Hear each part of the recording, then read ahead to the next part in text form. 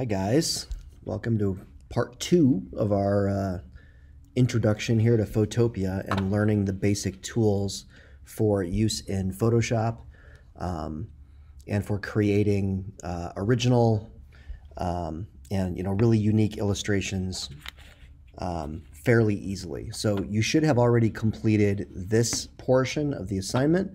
That is, uh, you have a um, Photopea or Photoshop, either way, same difference, uh, document with one, two, three, four image layers plus a background, which is trans or, or blank at the moment. So your background has to be completely empty, uh, and then you need to have a layer for crust, a layer for sauce, a layer for cheese, and a layer for pepperoni or any other toppings you want. Uh, but what's important here is that each um, element is on its own separate layer. If you wanted to make another uh, topping like, you know, sausage or green peppers or pineapple, whatever, um, you just have to make a separate layer for each one.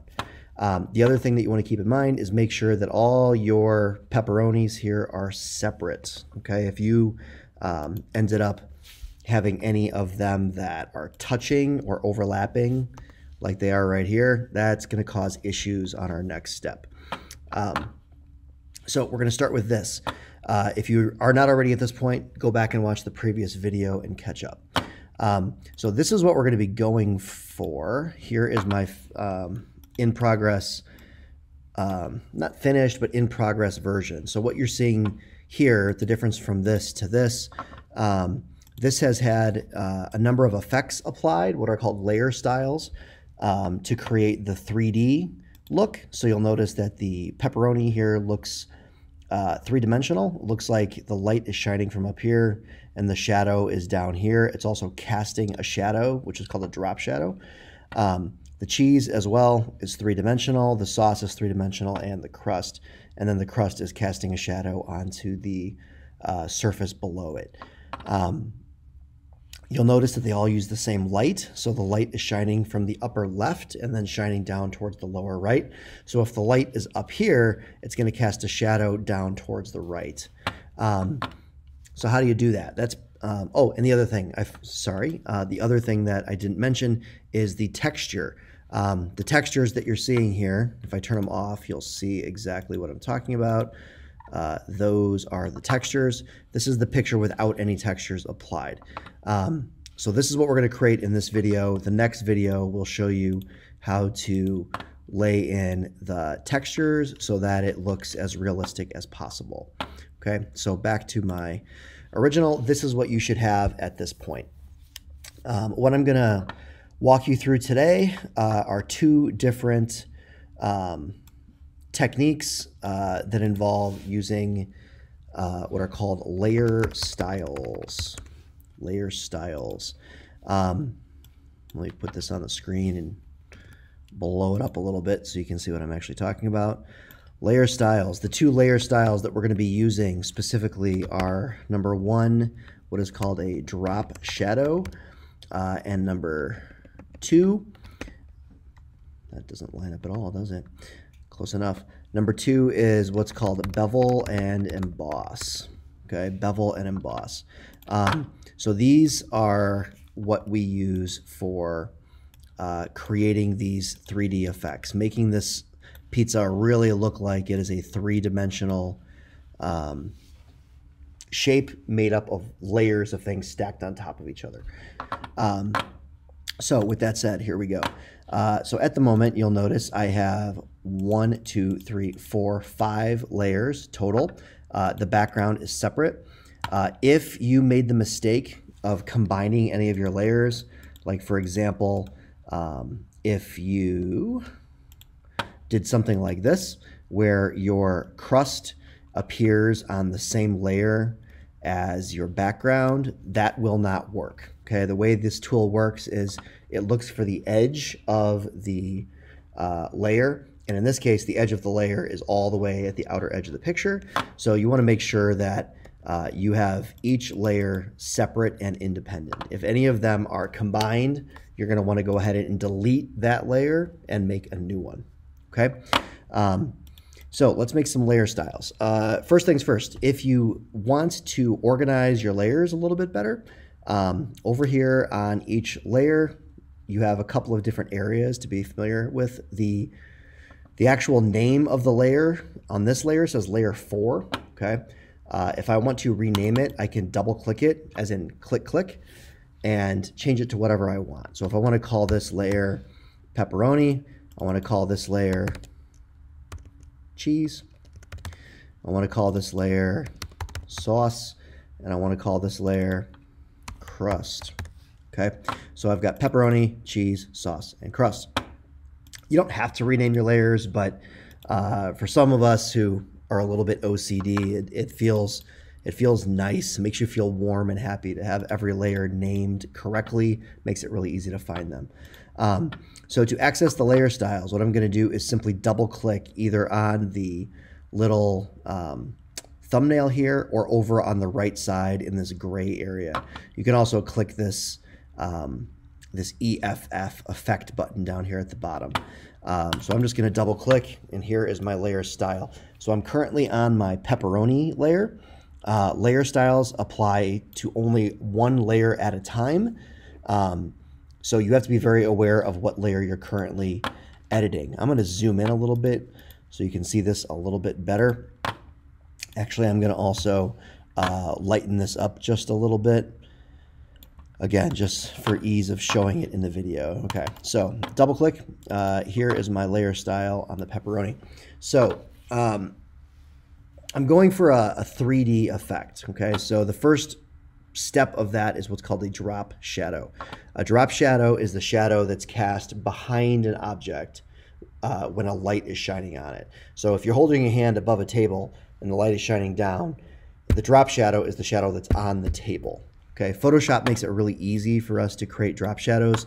Literally all you have to do is double click the layer and then down here at the bottom, uh, one of the styles here is drop shadow. Uh, now be aware, there's a checkbox which you can turn on and off. Okay, so that turns the shadow on and off. That particular shadow looks horrible. I mean, that it looks like my pepperoni is actually floating above the surface. Um, but I'll get to that in a second. So if you just click the, the checkbox, it just turns it on and off. Uh, but what you want to actually do is make sure you click on the actual name drop shadow. Click on this actual line here, and that will activate that setting, and that will activate the settings over here. So it allows you to actually uh, adjust and alter the appearance of that style. If you just click the checkbox, uh, it'll turn it on, but then you don't really have any um, ability to adjust it. So make sure you actually click on the line here where it says drop shadow. Uh, here are the settings for the drop shadow. Um, you don't need to mess with all of them, but there are a couple that make a big difference. Um, I would leave the blending mode set to multiply. That basically just means make things darker, leave it alone. Um, this little square right here is the color of the shadow. Um, I, you can just leave it as it is. By default, it's going to be kind of a dark brown color, um, but you can set it literally to any color that you want. You can make a blue shadow if you want. Um, generally speaking, you know, you want it to be black or just a darker version of a, of a brown or, or whatever color the object is that the shadow is on. Uh, in this case, I'm just going to keep it dark black. It's fine. Um, right below that is opacity right here. Uh, opacity it, it is another way of saying how much you can see through that layer. Okay, if I turn the opacity all to, turn this off for a second. Um, if I turn the opacity up to 100%, my shadow will be totally black. If I turn the, the opacity all the way down, it'll be completely transparent. Okay, so uh, you know somewhere in the middle uh, is generally good for a shadow. If you make it too dark, it tends to look odd. Okay, if you make it too light, you can't see it at all. So uh, we're gonna go uh, somewhere in this neighborhood over here. Okay, so I set it to 25, just arbitrarily, but you can play with it. Um, right below that is the angle. Okay, turn this up a little bit so you can see it a little better. Uh, below that is the angle. So the angle determines uh, what direction your light is shining from. So think about this little line here as pointing at the light. So if I point it straight up, set it to 90 degrees, let's just type in 90 degrees. If I set it at 90, that means the light is shining from exactly the top of the screen towards the bottom. Okay, so now my shadow is, is going directly downwards. Um, typically, I like to think of shadows as coming from one direction uh, or the other off to the side. Um, it's a little bit more dramatic if you have it straight up or straight down. Uh, straight up is a little bit weird specifically, but um, uh, feel free, play with it, do, do whatever you think uh, looks cool in your image. Uh, I do recommend you turn on this little checkbox right here. Use global angle. Uh, what this box does is links this lighting direction to all of your layers and also all of your layer styles. So uh, if you keep this checked, it means that your lighting will be consistent across all of your layers. And that's pretty important unless you're going for some weird effect with different shadows going different directions. But generally speaking, the light's coming from one direction all the time. So I like to turn on use global angle. Okay. Um, so opacity, angle, and then right here is distance. You may have seen me goofing with this earlier. Uh, the distance is how far away the shadow is from the object that's casting the shadow.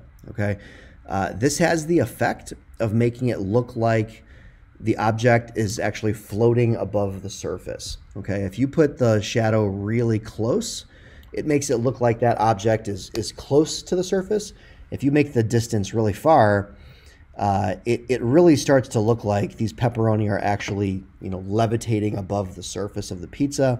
A little weird, uh, not really something I want uh, in this situation, but could come in handy later. Um, so here's my distance. I'm going to keep this pretty low, something like that. Uh, actually, even a little bit lower. Um, it can be kind of hard to see your shadow if it's too close. I'm going to actually spread it out just a little bit so you can see it a little bit easier. But I'm going to move it back over there in a minute. Um, I would leave spread at just 0%. It's a little confusing. Doesn't really seem to do anything all that useful.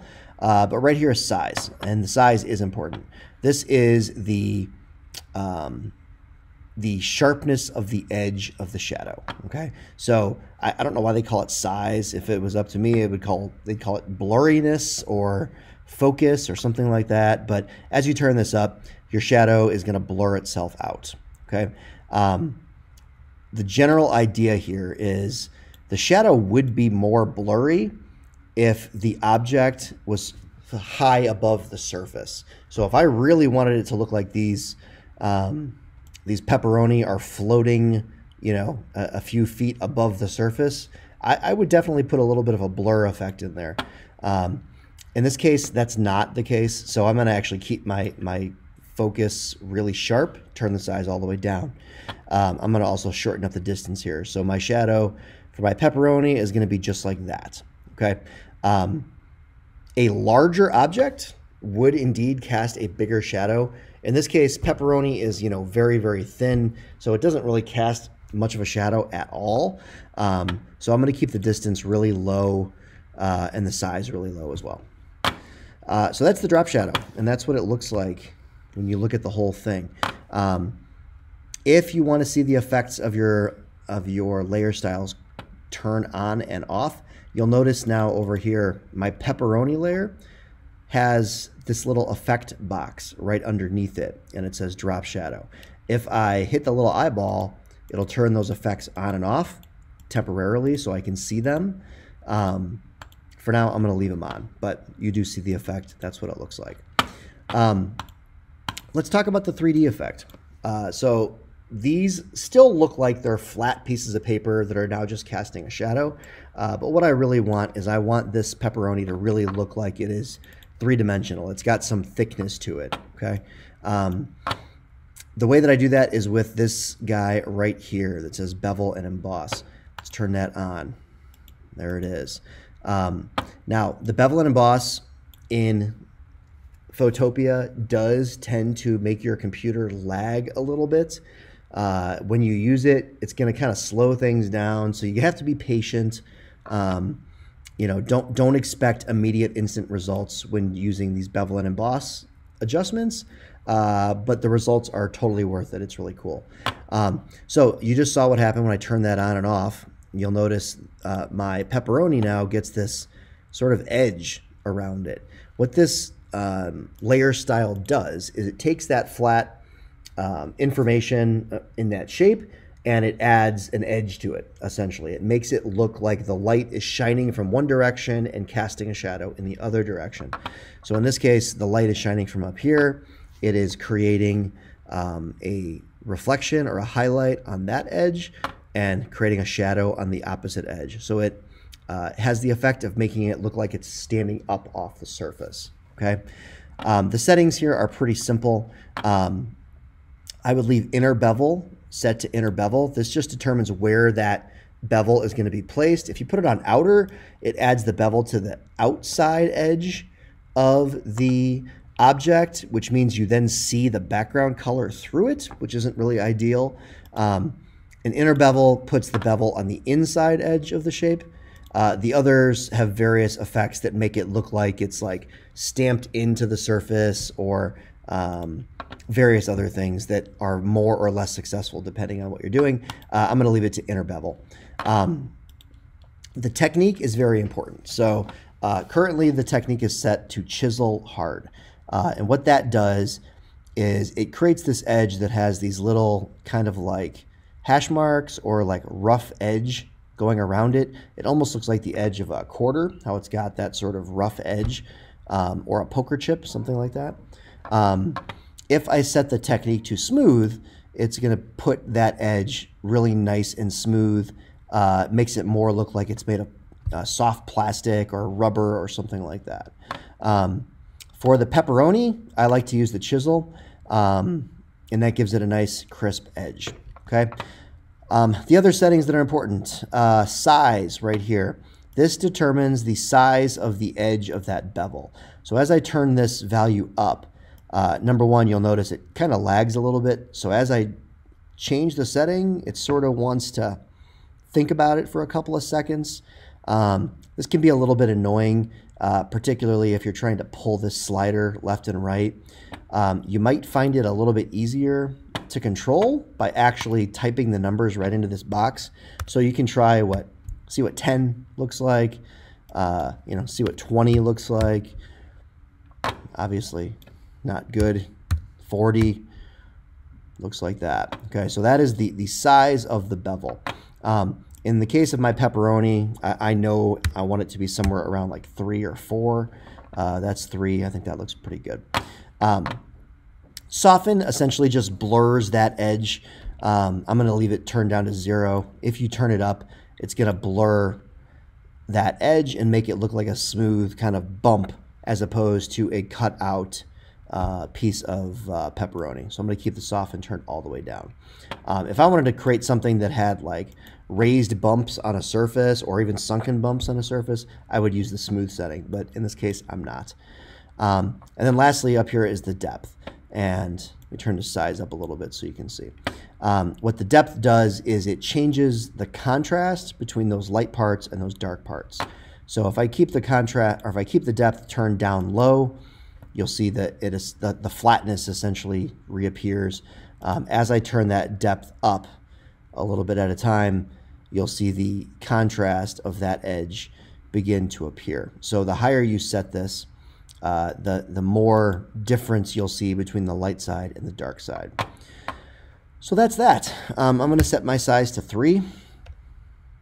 Keep the depth just where it is, and there you go. There's my three-dimensional looking pepperoni. Um, now, if you watched me do this in class, that's the only part that you saw. Um, those of you who are now watching on the video, um, I'm going to go ahead and show you how I did it on the other layers as well. Uh, if you don't need this, go ahead and skip it. Um, but uh, if you're curious how I got the effects on the other layers, I'll do those as well. Um, so let's do the cheese. Double click. Here's my layer style. Um, I'm going to do the drop shadow. You'll see it goes a lot faster after the first one. Um, drop shadow. Now I'm not seeing my effect, which is a little bit weird, but if I press OK, uh, whoops, There's the bell. Sorry about that. I'll be back. Okay, sorry about that. Got interrupted. But um, basically, you're going to use the same exact technique on the other layers as well. So this is my pepperoni layer. You can see the effects that I've applied. Um, you can hit the little eyeball next to your effects. It'll turn the effects on and off. Um, so for my cheese, I have similarly a drop shadow. You can just barely see it there on the edge. I'm going to open this up real quick. Um, I'm going to turn up the distance on my drop shadow just a little bit. Then I'm going to do a bevel and emboss. Uh, the, I'm going to zoom in a little bit so we can see what I'm talking about. There we go. Um, now that bevel and emboss, you'll notice, looks very weird. Okay, it has um, this really rough texture to it. That is because of the chisel hard setting.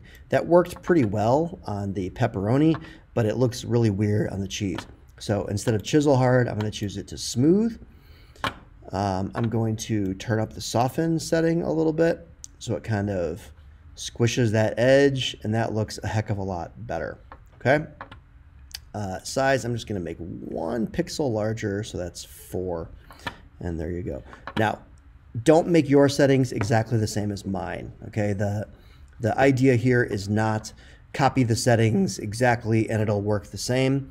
Maybe, maybe not. So what you want to do is tweak your settings for your own layers to get the look that you want. Okay, um, here's my sauce. Double click, drop shadow. Um, it will keep the same setting as the last time I used it. So when I turn that on, it's automatically the same as the cheese layer, which makes it very easy. Uh, bevel and emboss. Turn that on. That looks okay. I'm going to make my sauce a little bit thicker. So instead of four, I'm going to go up to seven. Uh, and that's just going to make the size of the sauce a little bit thicker than the cheese, which makes sense. Um, and then lastly, for the crust, double click, here is my crust setting. I'm going to do drop shadow. Um, I'm going to make my drop shadow distance larger on this one. I'm also going to turn the size up a little bit so that blurs that edge. Uh, most important for the crust is the bevel and emboss setting. Um, let me zoom out a little bit so we can see the whole thing. Zoom out, zoom out. Okay, so now you can see the shadows that I put on my uh, cheese and sauce layer. On the crust, it's not working so well right now. I don't want this crisp, hard edge on it. Um, so my bevel and emboss, I'm going to turn up the size here until what I have looks like a nice round pizza crust. And it really, we want it to really look as realistic and round as possible. I'm going to turn the soften setting up here. So that's going to make it nice and blurred together so I don't have any sharp edges. Um, I'm going to turn the depth down just a little bit. Um, and that's going to loosen that or, or lessen that contrast a little bit. So there you go. There is my completed um, I don't want to say completed, but at least I have the layer styles applied to my pizza. Um, crust, sauce, cheese, and pepperoni. Good luck.